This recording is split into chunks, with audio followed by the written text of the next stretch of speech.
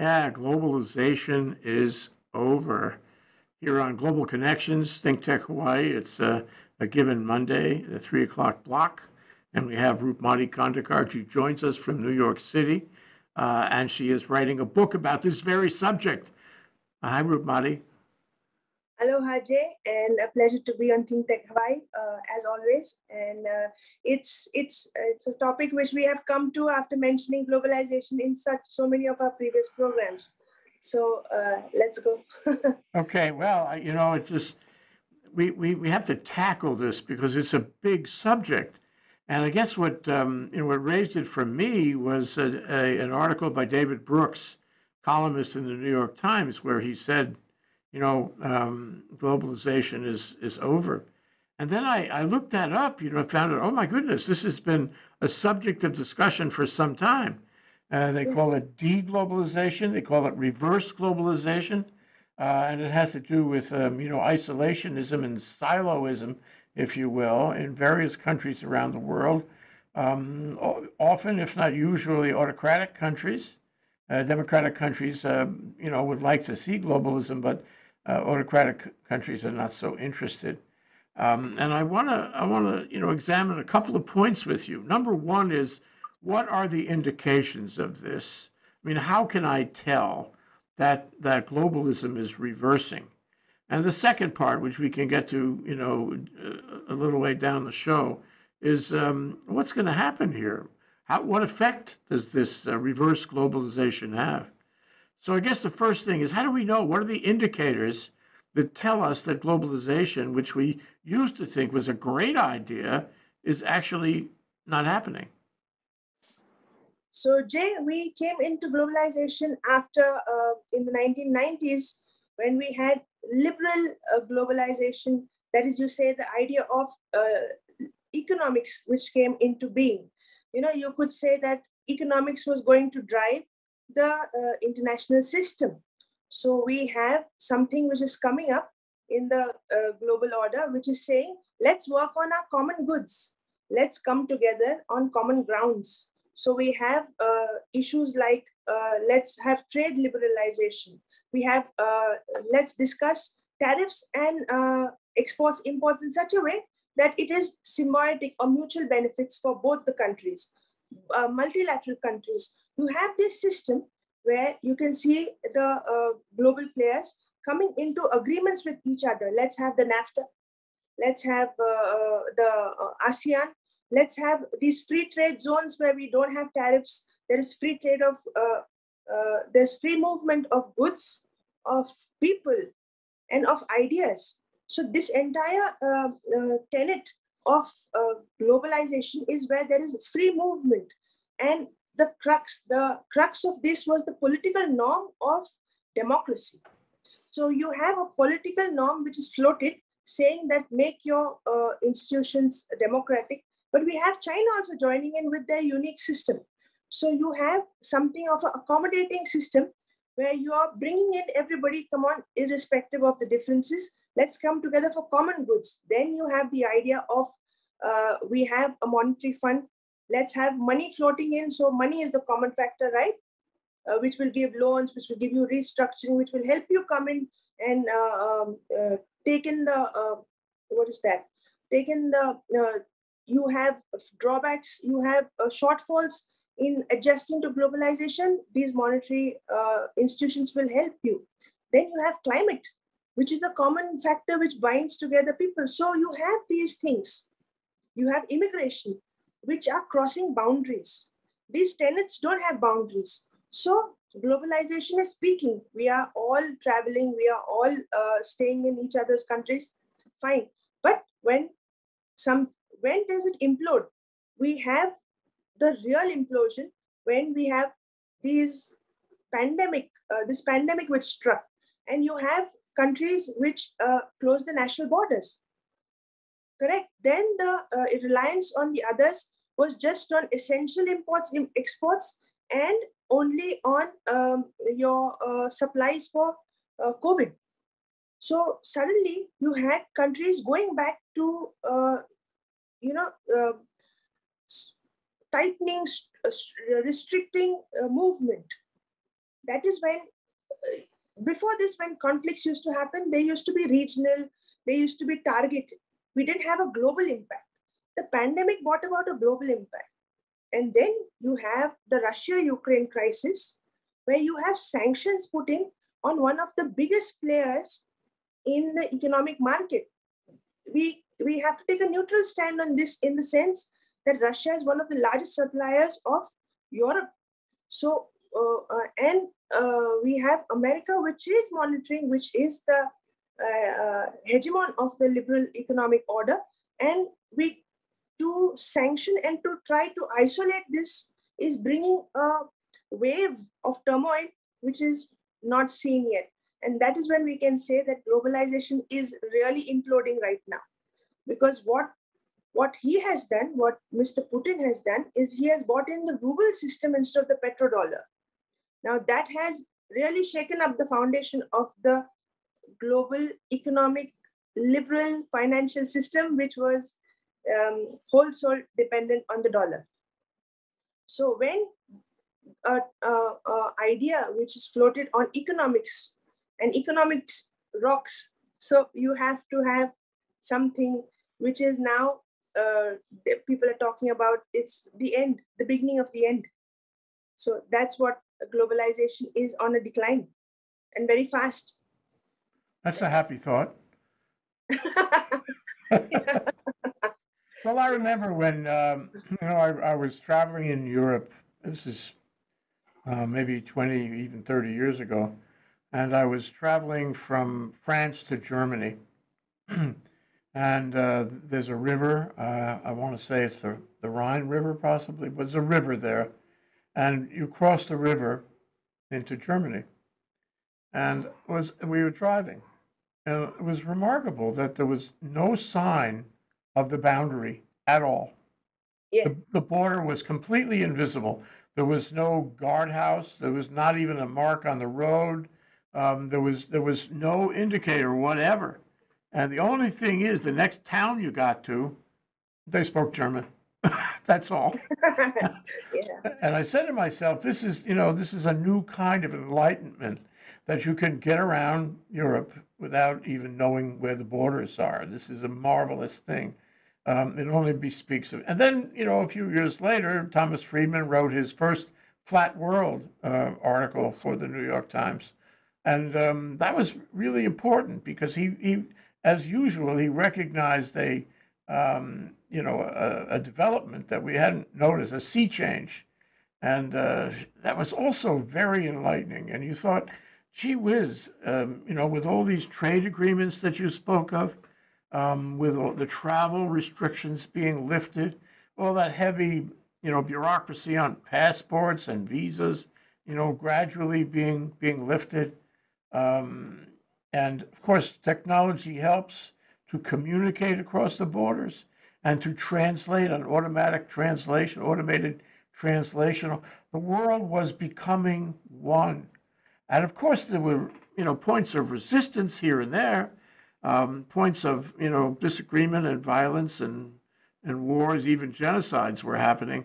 But in general, it seemed to be coming together, with the exception of a few areas that, that were mm, focused on negative things and destructive Yes. things. but uh, what's happened, and let me ask you, what's happened in the last couple of years? It hasn't been that long. Um, Tom Friedman has to change his mind, and and David Brooks changes his mind too.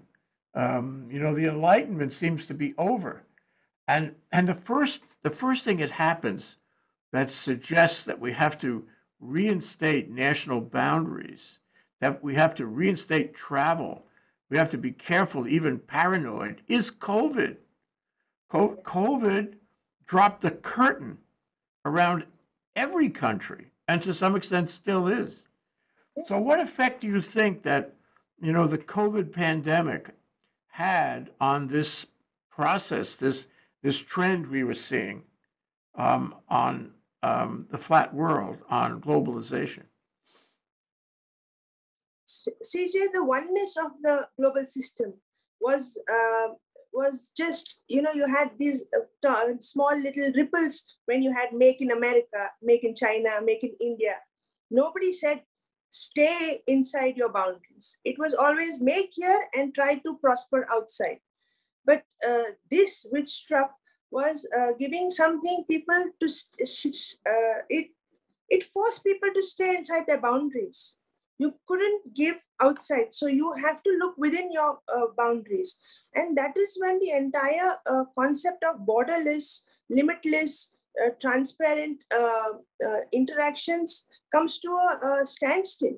So now to work across this um, implosion is going to be something of uh, a task because you have to have these bilateral, multilateral agreements. You have to keep them going because we cannot undo the work of four or five decades in a minute because globalization was bringing prosperity to all.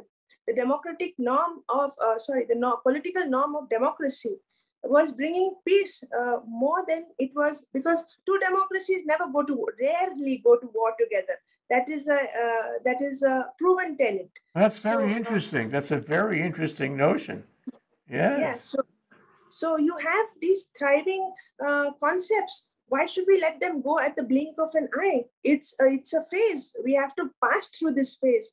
And we have to bring um, the entire international system to such a point that we come back to the oneness. Because this oneness helped us in the exact COVID pandemic when supplies were being uh, transferred from uh, the have nots to the haves, uh, sorry, the haves to the have nots. So you have this uh, uh, COVAX system where uh, economies, um, countries from people who have vaccines going to no vaccines. You have this give and take, you have this balancing act going on can you let it go just on the basis of um, two wars, two, uh, you know, a pandemic? No, these two points cannot make you have, say that it's the end of the pandemic. Yeah. So we have to look forward on this, isn't it? Well, then, you know, the other thing is I mentioned in my remarks a minute ago that there were, even as globalization was arising, um, there were certain parts of the world that, that where it wasn't happening, which were focused on violence and terrorism and so forth. And one of those places, um, of course, is the Middle East, which has a, a penchant for, for, for violence and all that. You know, it's not like you want to get up and, and take a trip to the Middle East. You know, back in the 100 years ago, people would go to the Middle East regularly. It was a, I mean, in some of these countries that are now impossible, uh, they would go and they, and they would, you know, have a nice tourist experience. But all that has ended. You wouldn't go to Syria in a million years now. Um, and so what's what's happened while we were uh, enjoying, if you will, um, the globalism in say the Western countries and and the larger country, India certainly was enjoying globalism, um, and to some extent, you know, Africa and uh, Latin America, um, not to a lesser extent, I would say. Um, uh, in the Middle East, it was it was uh, decompensating. It was you know it was getting more and more violent, and then now you look and you realize that Mr. Putin was involved in destroying Aleppo. And the same general that he's bringing in for the Donbass in Ukraine is the general who destroyed Aleppo. How how his, how interesting a coincidence is that? And so what you find is that the, the areas that have gone that have resisted globalism have created violence and you know uh, I don't know what you say anti-globalism um, are are the areas um, like that, like the Middle East, and Mr. Putin is involved in both places. We weren't really watching we weren't watching that general. We weren't watching what was going on in Aleppo. Um, um, uh, Donald Trump wasn't watching for sure. He was completely um, naive about it. And, and so now we find, looking back, that, that actually this process um, that uh, David Brooks writes about, this anti globalism, reverse globalism, actually has been happening in some areas of the world for, for a while. Uh, we just weren't watching. And We weren't watching who was responsible, and we weren't putting, we weren't connecting the dots. it seems to me your point a minute ago is really, really important that democratic countries don't generally go to war with each other. It's the autocrats who are seeking territory and power um, and, I don't know, genocide, whatever it might be. Um, they're the ones who are going backward. They're the ones who don't want globalism. Is that right? Yeah, they're, they're the areas of perpetual conflict. Why? Because it, it is in the interest of these this uh, Mr. Putin to keep them in perpetual conflict. It gave him a hold over there and gave him a hidden hold. We did not know he is uh, um, he's supporting Syria so wholeheartedly for over 10 years. We did not know this, that he is uh, involved in Middle Eastern politics so deeply. Now, when uh, Saudi Arabia refuses to speak to Biden, pick up the phone calls, there is a certain backing with which they have this confidence. Yeah. So you have this kind of a system where you have a hidden player and you have a outspoken uh, uh, player, but both are superpowers. Two superpowers are driving this globalization, and two extremely different uh, uh, ideological backgrounds of both, and both work in interests of each other. Now you have we are at such a phase in uh, international politics where they are not blinking so nobody you know we have we have a we have a point where we can go blind. So and both have uh, you know russia has 6600 uh, nuclear weapons. Uh, uh, america has 5600 nuclear weapons. The world can go uh, kaput a, a couple of times you know we don't know. We have to be careful about what they decide what they do. They, the confrontation cannot go beyond a point it can just be to a point of saying hey do this but you can't go and um, uh, you can't provoke the other person in such a way that it exists existential uh, you know they have reactions to that. So it has it is such a delicate game that uh, america has to play right now. It's such a delicate game because we have we have like you rightly pointed out hidden elements which are against the very a tenet of democracy or very tenet of globalization. So these hidden termites are going to keep on troubling us till we have, it, it's going to be now, uh, what do you say? You have to have a more alert game in this. Yeah, well, you know, that's, that's um, it's problematic. I, I don't, I think, you know, again, as as in the case of the Middle East, people don't realize it, and I don't think they realize what you're talking about right now um, the, the, the silo that um, that uh, Putin has has painted around himself is very dangerous because, first of all, he gives up any notion of of um, uh, altruism, of enlightenment, of trying to make the world a better place. That's the last thing on his mind. He's he's only interested in power. And by the way, Trump was the same way, uh, only interested in power um, and not not really interested in helping people, making the world a better place. You know, making humanity a, a happier lot.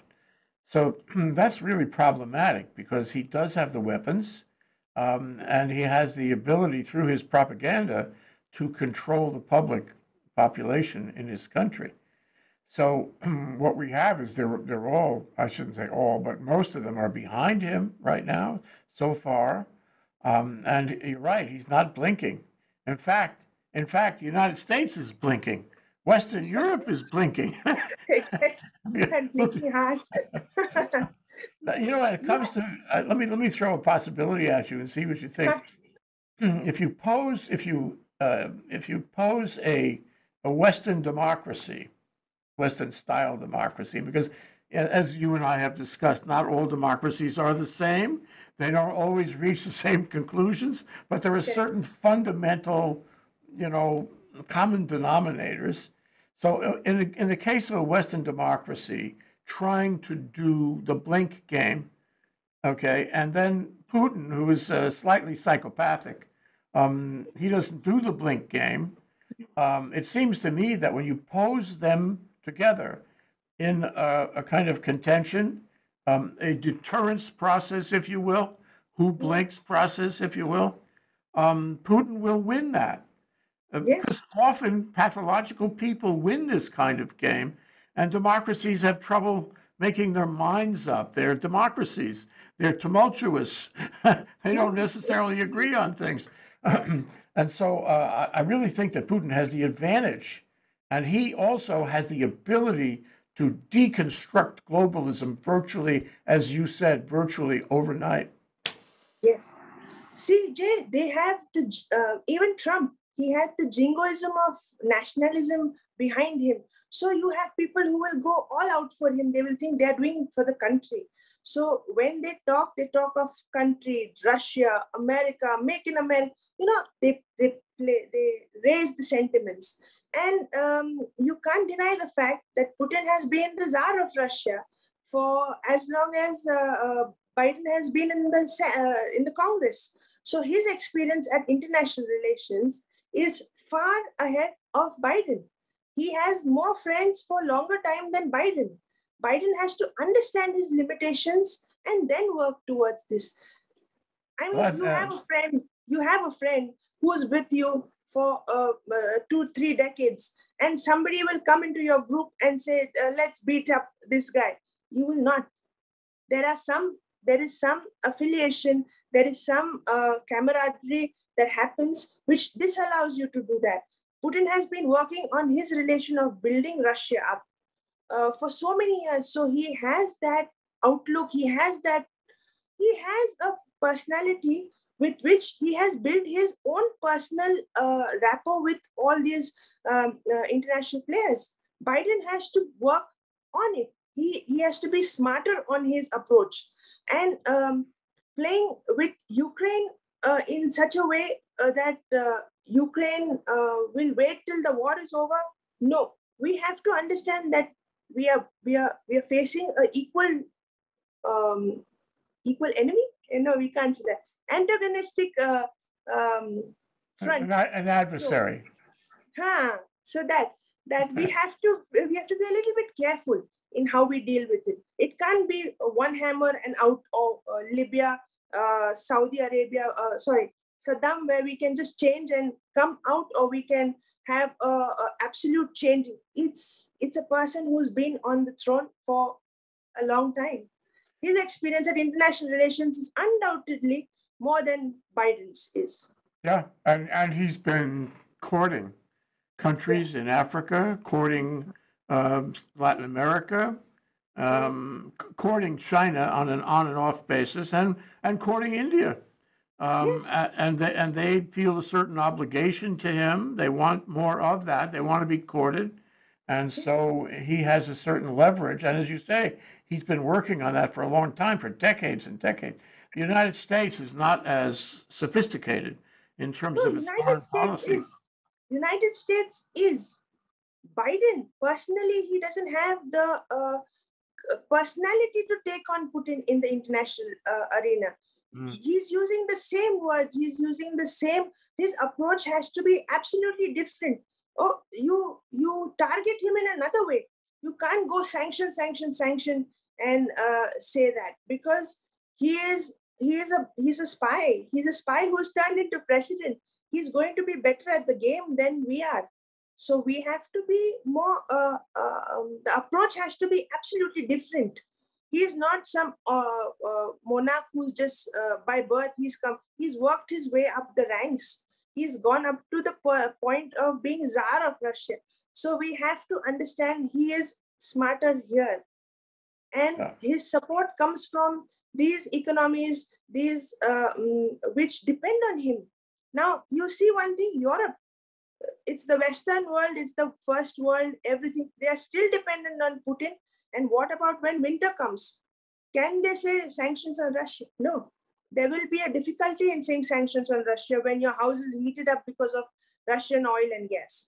So uh, you have to understand that uh, these people um, have um, a personal approach to international relations in this game because uh, the oil and fuel which comes to the house comes from Russia.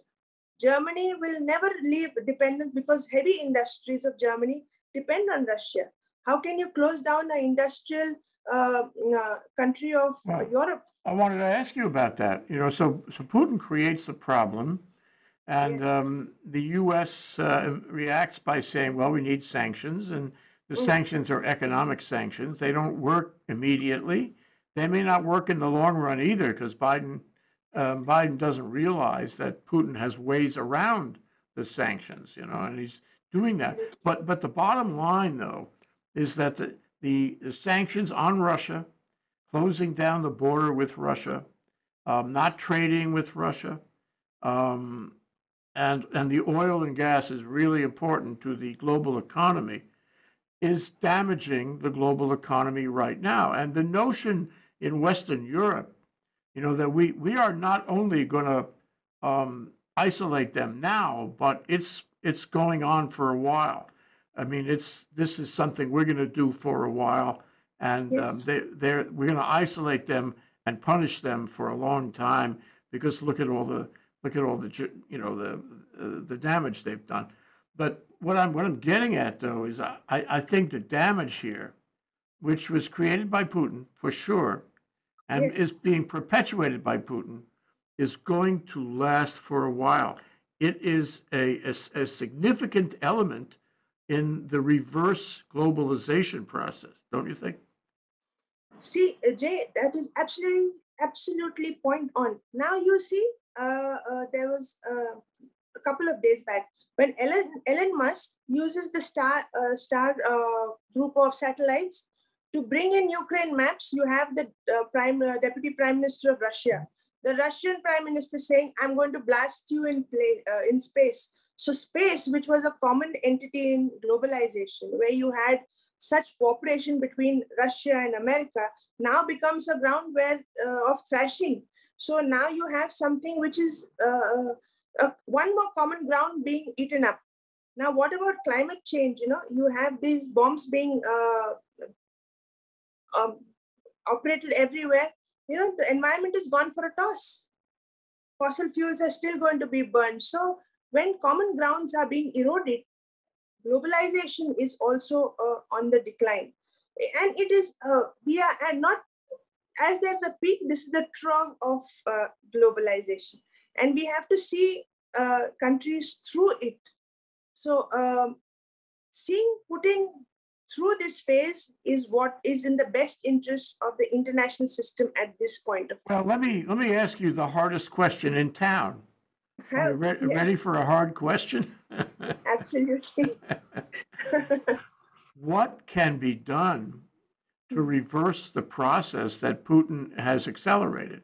What can be done to return to globalization? I mean, he's he's a really angry, pathological person, but he's making everybody else angry too. And the curtains are coming down everywhere. How do you reverse that, especially given the fact that he's not going to mm, change his style? Yes. See, this is a repeated story in Ukraine we have from Georgia. When he sees somebody entering uh, uh, NATO, the Warsaw in him gets angry. So uh, you have uh, Mariupol falling and you have him uh, gloating, correct? Now we have to save lives in Ukraine. He has to, somebody has to say, okay, you know, I mean, uh, Zelensky has to open the map and say, now I have to stop. I will say, maybe for the timing, I will not join uh, NATO. Just stop this bombardment, bring it to a standstill, and then proceed from then on. You know, you have to give space, time to rejuvenate in war zones. Even uh, the ancient wars had a uh, closing down at sunset. But these, these people don't relent. They are going on 24 hours for two months almost. Uh, the bombing is going on has there been any um, respite for anybody? Just lives are being uh, Well, taken but there's one aggressor and the rest of them are uh, on the defensive. I mean, would Yes. you, would you agree with me that there, there will, this war will widen? Um, because he, he is doubling down every day. Um, and he's taking all these steps to be sure that he can claim he won this war before their national holiday on May 9th in Russia. I mean, he's Yeah. not about to back off. Um, and is that the way you deal with a pathological leader? Um, do you do you give him a break? Do you tell him, okay, you won, uh, Yes. or do you fight with him and and beat him? Um, this is a real big human nature question here. Uh, Jay, on the seventh day they were in Kiev. They could have taken uh, the presidential palace and changed the government, and it would have been over. But he wants it to stretch to a point where the ruble comes up, where Russia comes up, where there is uh, um, there is a reinforcement of his uh, position. So this war is being stretched by him, and he will stretch it to such a point that he will conquer because they don't have it when when you're a soldier you don't give up you don't give up in your mind whether you're on the losing side whether you're on the winning side you will never give up and uh, as a statesman i think even uh, uh, uh biden would not give up. So we have to see that it's a long drawn effort that is going to take place this time. And alliances are going to be formed. Hidden alliances are going to be formed.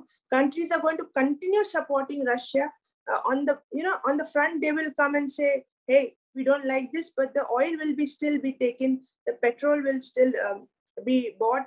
You know uh, ruble you know vatican deposited uh, money on the uh, second day one day before april 1st he said but you see how damaging that is that's very damaging that yeah. you that you give up globalism that you yeah. give up the rule of law that you that you give up the uh, liberal order of society of the world um, just to just to satisfy uh, a monster. Uh, what you're saying, the messaging is so clear. You're saying, okay, you win. It's all right that you did yeah. genocide. It's all right that you did you invaded and did atrocities. We're going to give you a pass, and furthermore, we're going to withdraw the sanctions. So the messaging is really scary because you know that he and others will do it again.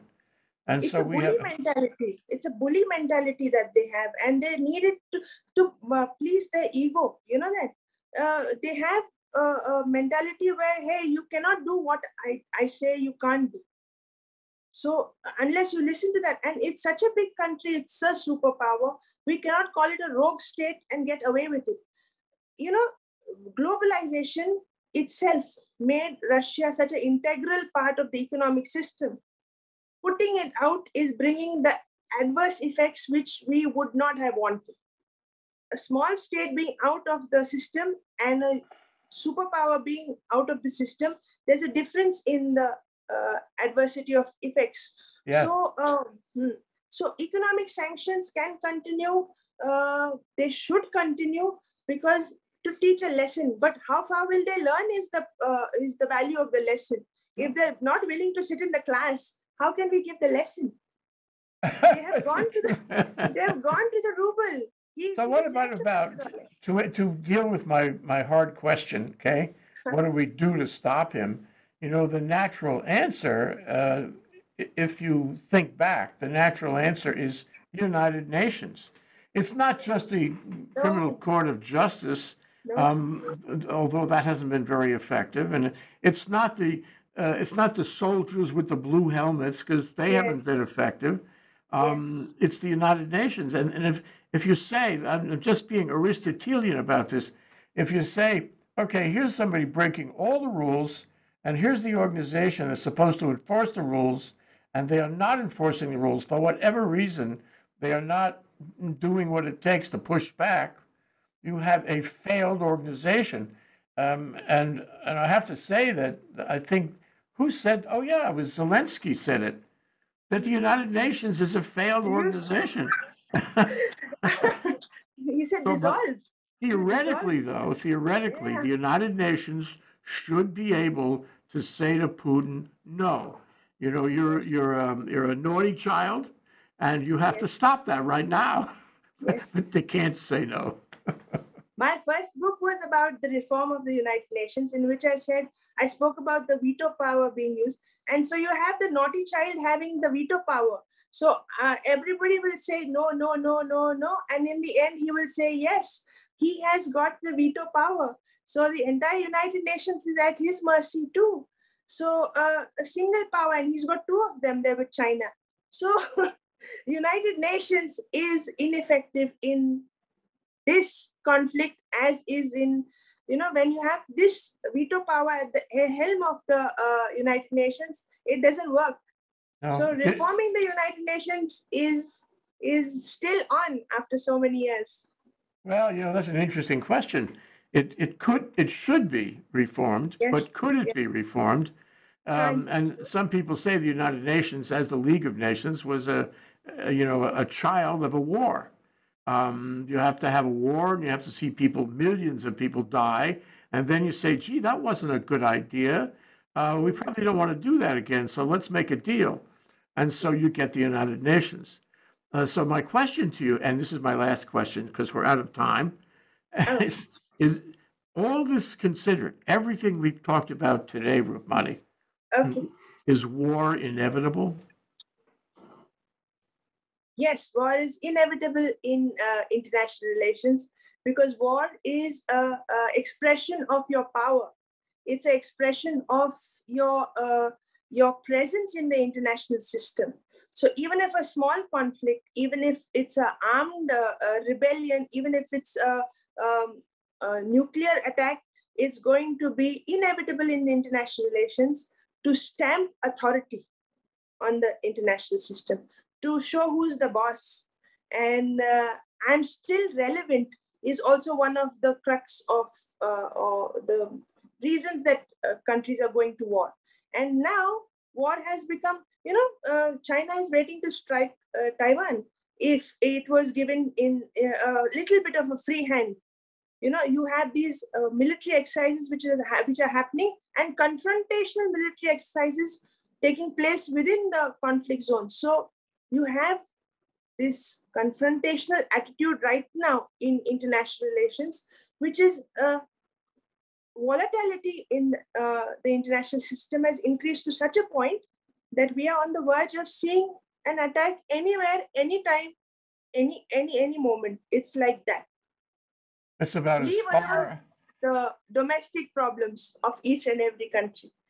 that's about as far away from the um, globalism as you can po- possibly get. What is reality or realism, isn't it? Yeah. Okay, Roopmati, I feel a lot better about everything now. Me too. Thank you very much for discussing this with me. Um, Thank you so and much, I. I will, I want to check back with you on the progress in your book. Uh, and, and, and see, and see how you wrap your thinking around the events that will now follow every day. So yes. thank, thank you for participating so in this discussion. Thank you. Thank you so much for having me, Jay. Always, Hello. always a Always a pleasure, always a pleasure. Thank you, Roopmati. Aloha. thank you.